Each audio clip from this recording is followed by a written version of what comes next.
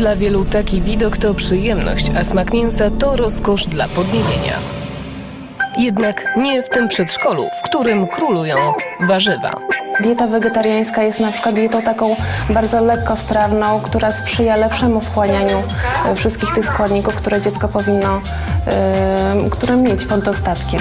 Dieta wegetariańska u dzieci wzbudza wiele kontrowersji, a odstawienie mięsa kojarzy się z niedoborem witamin i żelaza. Dużo jest przeciwników tej diety głównie z tego powodu, że e, ludzie nie wiedzą na czym tak naprawdę to polega. M, Brakuje poczucia bezpieczeństwa, że to dziecko na pewno będzie dobrze odżywione. Bo w każdej diecie najważniejsze jest zróżnicowanie. Wielu rodziców nawet, którzy nie są wegetarianami, też się decydują na nasze przedszkole i myślę, że doceniają właśnie to, że e, kładziemy taki duży nacisk na to, żeby ta dieta była zdrowa, żeby te produkty były jak najbardziej ekologiczne.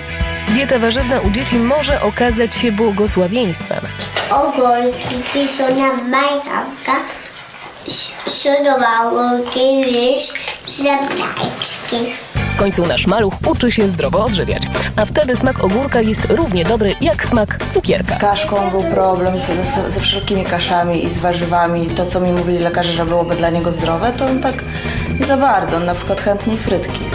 A teraz je warzywa i w domu też je pomidora, ogórka i marchewkę. Sami nie jesteśmy wegetarianami, ale, ale jemy mało mięsa.